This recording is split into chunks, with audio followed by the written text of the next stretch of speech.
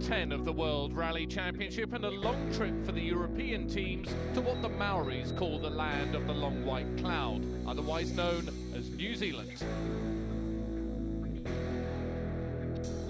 Rally New Zealand used to take in the whole country. Now it runs on the fast gravel roads around Auckland on the North Island.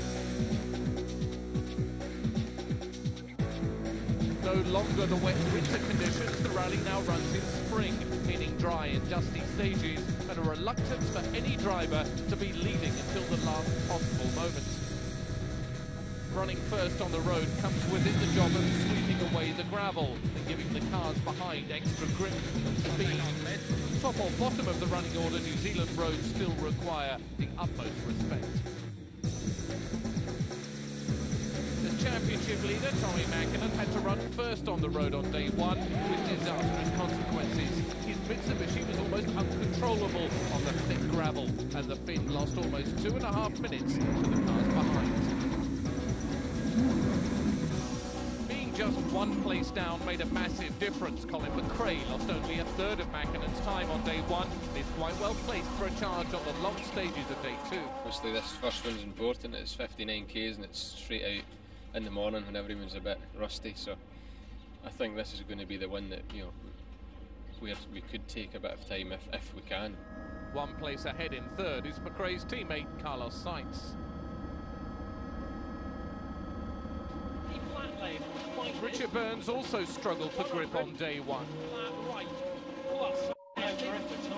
Ending the day ninth and perfectly placed for the rebound on day two. The tactical driving backfired on reigning champion Marcus Grönholm. Peugeot sent one of their team into the stages to give Grönholm a target time. But the time was wrong, leaving Grönholm in second and seething with fury. Marcus, that mistake last night could cost you dearly today. Yeah, could be, yes. Uh, we will see. It's uh, still a long day to go, so I hope we don't uh, lose so much uh, time. But uh, it will be difficult. Kenneth Eriksson was happy to take Hyundai to their first lead of a World Championship rally, but holding on to it will be hard. It has to be flat out, do or die for you, really. Really, really flat out. I must go very fast on the on the on the fast section and try to be clever on, on the slow section. But it's a lot of speed today, you know, and it will be very difficult in this dry condition. So the situation going into the second day, the front runners can only hope that they don't lose too much time cleaning away the gravel. But it's from the places either side of 10th where the attack on the lead will come. In particular, watch out for title fighters Burns and Rovanperä as the rally heads north of Auckland.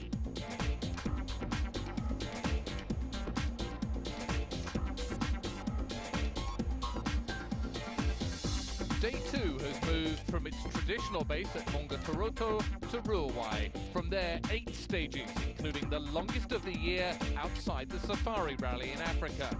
This is the longest day of the New Zealand Rally, 176 kilometres in total.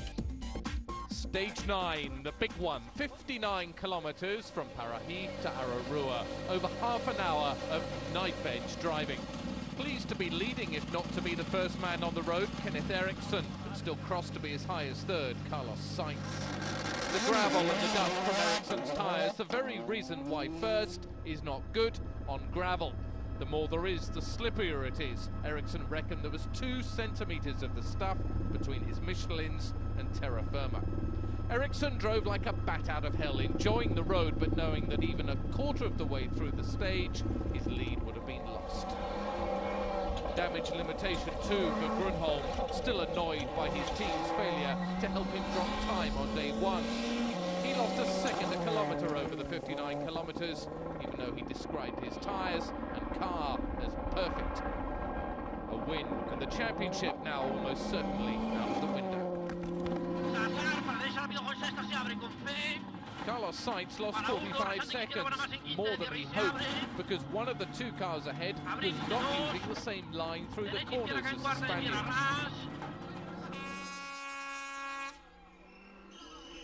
Sainz might have been unhappy, but the crowd went wild in their showers of stones.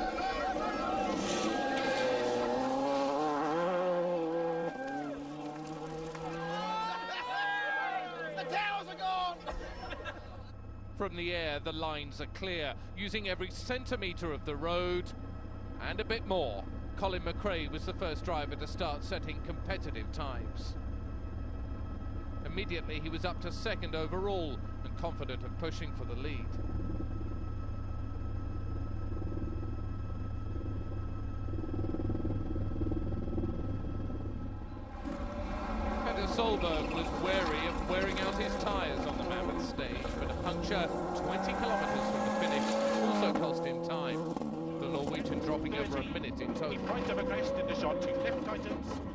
Right minus tightens half long, into one left plus. Opens two, half long tightens. and flat short four right, 80. Again, a puncture. That destroy a lot.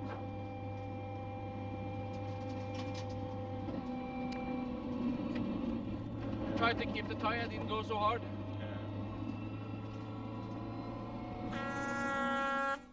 There might have been horns for Freddie Loix, but there was no charge from the Belgian.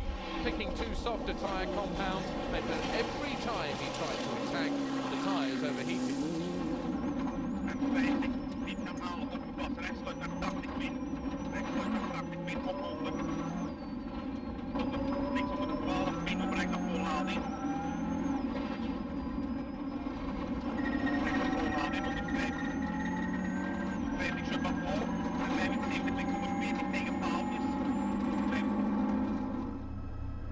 Hyundai were right to hedge their bets with their two drivers. Even with brake fade, Alister McRae was 45 seconds better off than his teammate Eriksson after stage 9, putting the pair just two seconds apart.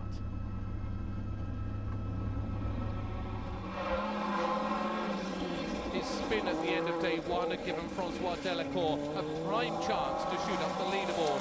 Clean road and plenty of adrenaline had him on the ragged edge. Then it all went wrong.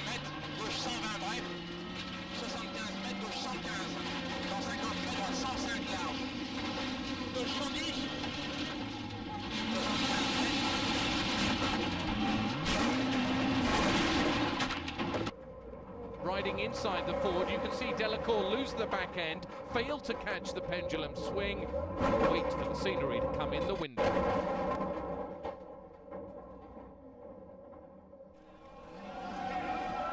After two minutes, spectators got Delecour back on track, but without a windscreen. Wearing goggles to protect his eyes, the French rally star struggled to reach the finish. Piste gauche à fond. 100 mètres. Petit léger gauche et droite à fond, ouais. The teams all had spotters down the stage, and when Richard Burns came storming through, the radio started to buzz with word of his speed. He was over 20 seconds faster than even McRae. The leaderboard was about to be thrown upside down.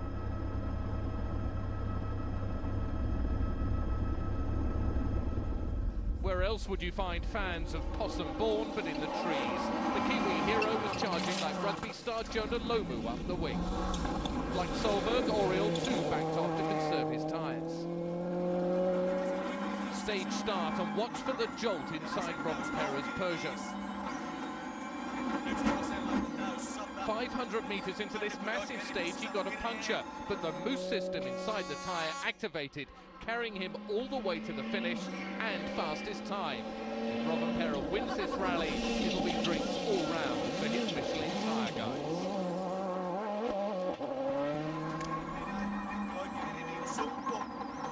Perra's stage win put him fifth, just behind Marcus.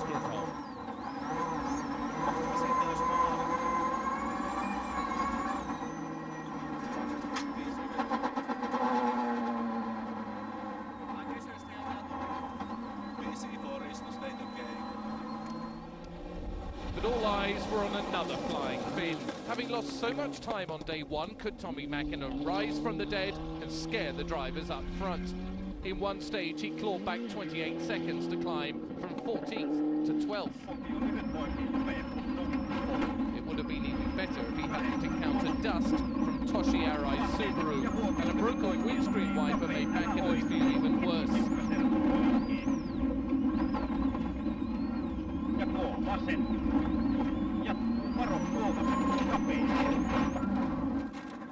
No wonder the Finn looked tense.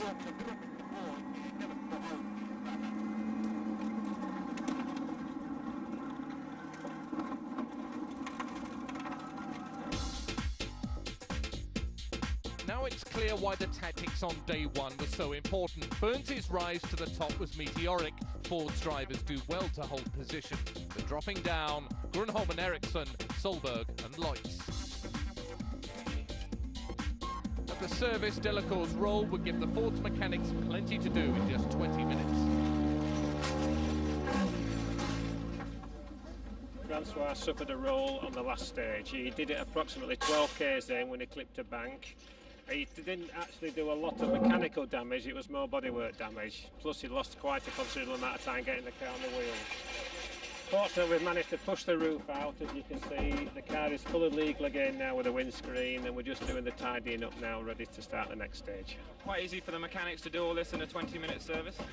Yes, um, they, uh, they've done quite a good job of getting it back together. I won't say we train for this sort of situation because hopefully it doesn't happen, but when it does happen, they all rally to the cause. Pleasure and pain for the drivers who won and lost on stage nine. Richard, some lightning speed on that stage. You turned a 47 second deficit into a three second lead. Well, that, that was the plan. You know, we had a, a day yesterday which was quite tough. In that it was difficult to keep a concentration just to just to go a reasonable speed and uh, not get involved in a fight for the lead because today was obviously the big day. Yeah, it went well. We had a good time. Um, we pulled a lot of time on Marcus, and unfortunately, Richard had a very good time as well. And I think that's the, the sort of pattern for today. He's going to take as much advantage as he can, and obviously try and carry it through in tomorrow. To, to tomorrow. Marcus, seventh on that stage. Did you lose more time than you expected? Yes, a, a little bit more what I expect. Yes, I uh, expect to lose uh, half a minute, but now it was one minute. The hot topic of tactics needs a solution. In Australia in two months, drivers will be able to choose road positions. Here in New Zealand, the team managers met to decide if that will be a long-term fix.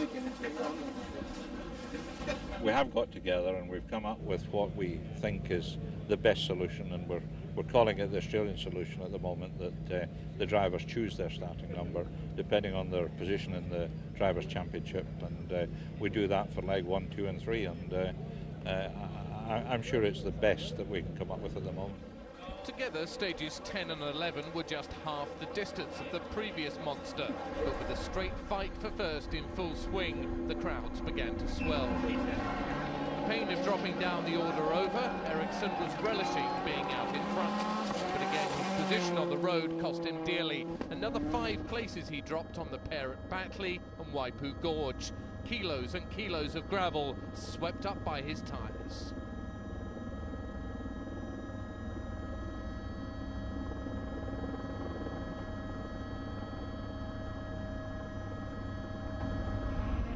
Grönholm's slip from success was more gentle but no less frustrating. He said he felt as if he was losing time everywhere.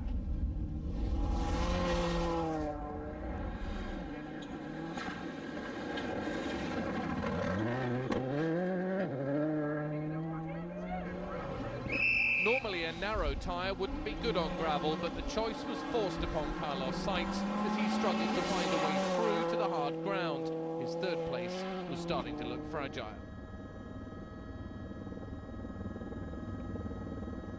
It might not be good for the drivers, but the carpet of gravel creates spectacular driving from the world's rally stars, feathering the throttle and seesawing at the wheel to keep the car between the trees.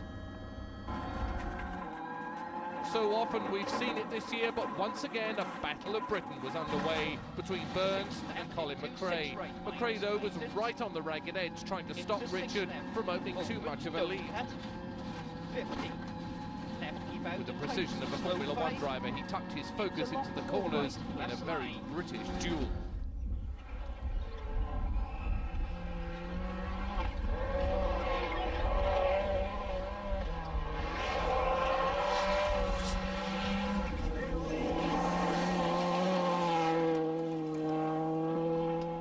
For a moment, silence. Then Petter Solberg no longer trying to conserve his tyres with the rally and out-and-out fight to the finish. He had to hang on to every tenth of a second.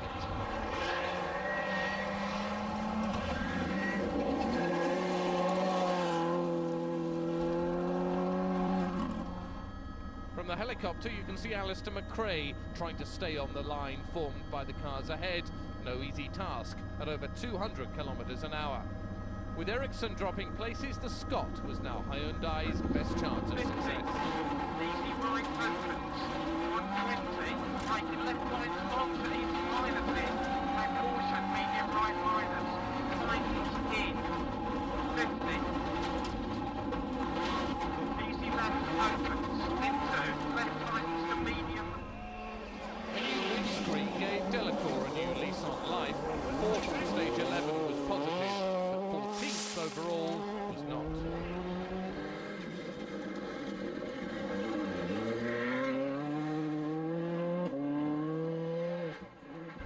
Ever since he was a boy, Richard Burns has wanted to be World Rally Champion. Twice he's been runner-up, and if he wins here, his chances at the title will improve considerably. He set fastest times on both 10 and 11 and started to pull away from McRae, the aim to open a gap of at least half a minute to save having to deliberately drop back for day three. 50. Flat right 80. Slight right 70. Auriol looks safe in sixth and even capable of pinching fifth from team leader Grönholm.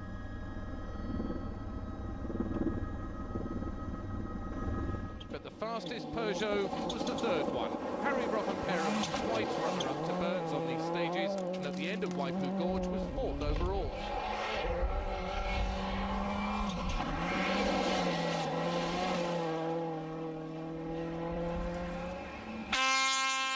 Another two stages and another two places. Tommi Mäkinen was on the limit and waiting for physics to help him climb higher.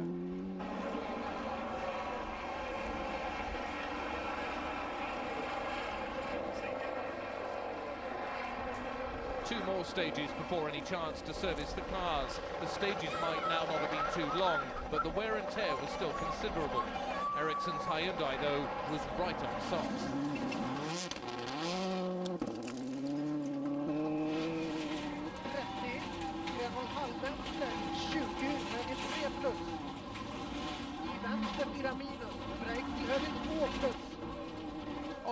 Song Grönholm's Peugeot. How frustrating must that have been for the man who, before the start, believed that a win here would reignite his championship chances. Sparks light up as sights his dust as he tries to use every part of New Zealand for his rally and to keep Rovanpera at bay. But to no avail by stage 13, the Spaniard was down to fourth. Of delight from the Kiwis, but Colin McRae was now 25 seconds behind Burns. Freddie Loix lost control of his Mitsubishi and lost more time. Looking a little lopsided, Delecour's Ford, another winning chance gone.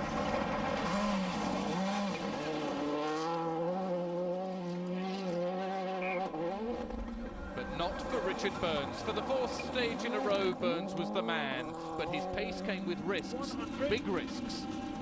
Slight left. 100. Left backs in. 70 flat right tightens. To flat right. 60. Flat right. 100.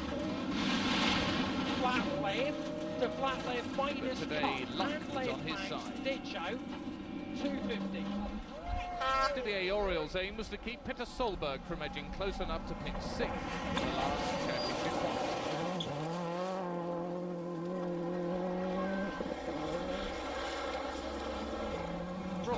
Didn't want the last points, he wanted the most points. Next on his hit list, McRae in second spot. The man from Japan, Toshi Arai, was pleased to be 13th in the Subaru, but out of sight he spun on stage 12, losing 25 seconds.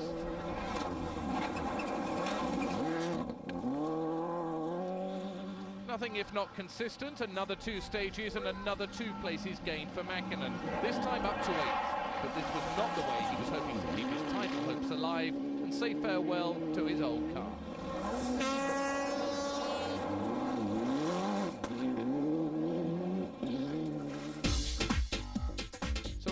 Mammoth run of four stages. Burns his lead 25.3 seconds from McRae. Rovanperä up to third. Grönholm down to fifth. Richard, four stage wins on the trot, but a rather hair-raising moment on 13 for you. Yeah, I just, uh, I was, I've been pushing very hard, obviously, and I braked a little bit late for a sixth gear right corner, but, but tightened a little, and we went off on the outside into a, hit a bank. But fortunately, even just left it in sixth gear, it bounced off, went up on two wheels, back onto the road, and, and carried on, which was was very lucky. I thought we were going to have an accident there. You've got 25 second lead over Colin now. Is it going to be tactics on these last few stages, or can you win from the front? I think uh, if we get we, we stay about where we are, then I'll be pretty happy. Yeah.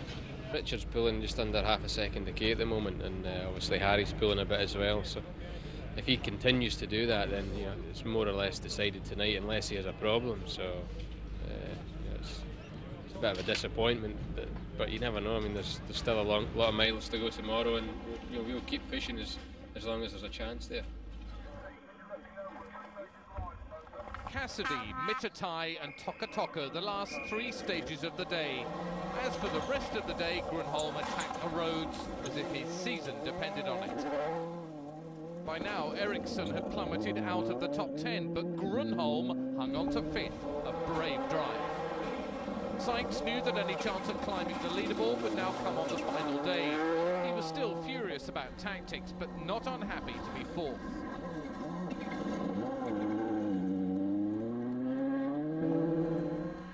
Another 10 seconds McRae lost over the last three stages to Burns. This time it was he who made a mistake, hitting a concrete fence on stage 15. The time loss was minimal though.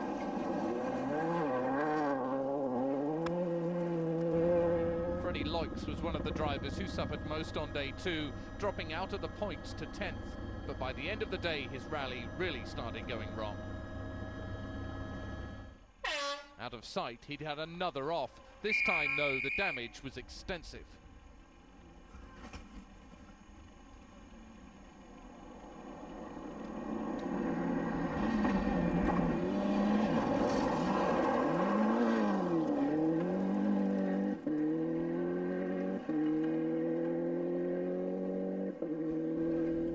Burns now had made up his mind that he was not going to drop back. His charge continued, and his cushion to McRae was now 42 seconds.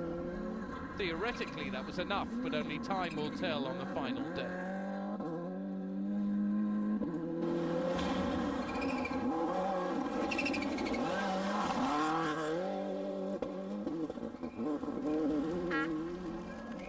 McRae's accident allowed Harri Rovanperä to close within 23 seconds of the Scot. Smelling a chance to close in on the title, he'll be charging on day three.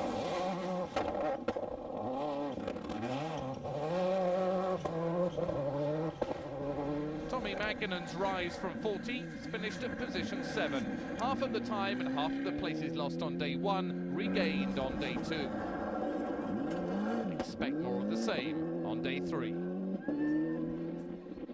the final stage of the day, and over the crest comes Australian Cody Crocker in a Subaru, getting it all wrong into a frightening series of barrel rolls. He and co-driver Greg Foletta were taken to hospital, concussed. Again, you see it, he gets out of shape, the rear wheel digs into the ditch, and over goes the car.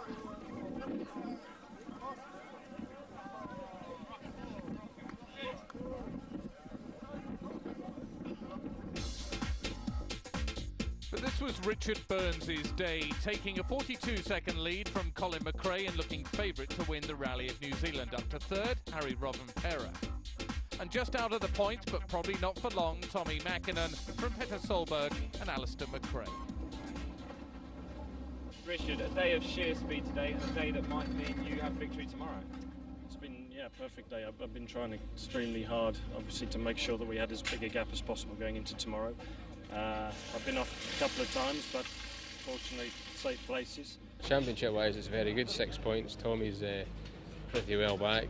Richard's taking the lead, so I mean he's he's not that close in the championship. So it's you know it's, it's looking pretty good. If we not can catch uh, Colin today, is tomorrow is not possible. But uh, sure, it's a, it's a big fight for top 10 cars tomorrow, and everything is possible. And if something small mistakes coming. Just weeks ago, Richard Burns thought his 2001 title hopes were over. Today, he's proved they're very much still alive.